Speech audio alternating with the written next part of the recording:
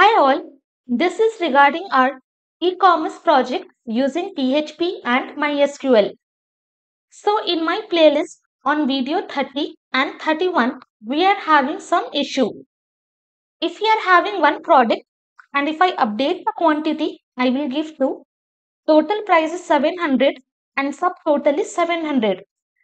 As soon as I click on update, I am able to update the subtotal. I will come to home page I will add another item.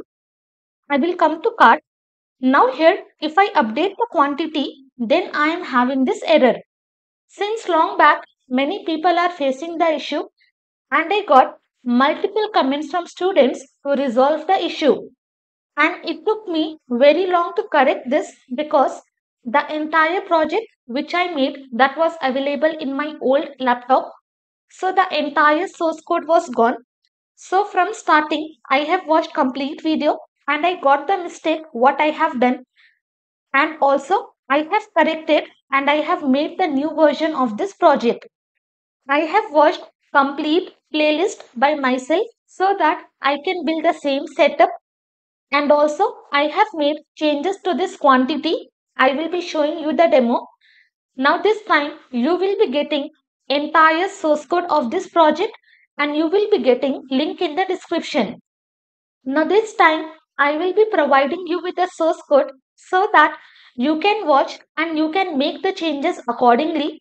So from starting entire code whatever you have seen in the playlist entire thing will be same.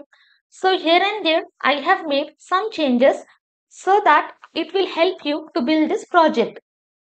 Now I will come here to the final version of this project this is our project. Inside this, I am going to add this item to the cart. Item is added to cart. One item you can see, one item is added and also total price, price is added. And each and every time this products will be displayed in random order. Now I am going to add this teddy bear, add to cart. Item is added to cart. Two items and total of these two items are 700 plus 45 I got 745. Now I will click on this cart. You can see their total price is displayed, quantity is displayed and also subtotal is displayed.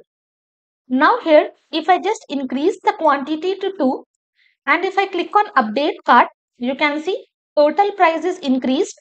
Now subtotal is also increased 1400 plus 45 I got 1445. I will increase the quantity of this one. I will increase it to 4.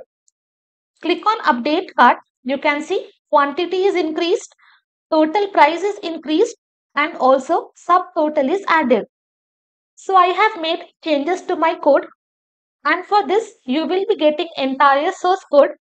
So accordingly you can adjust the code and you can build this project.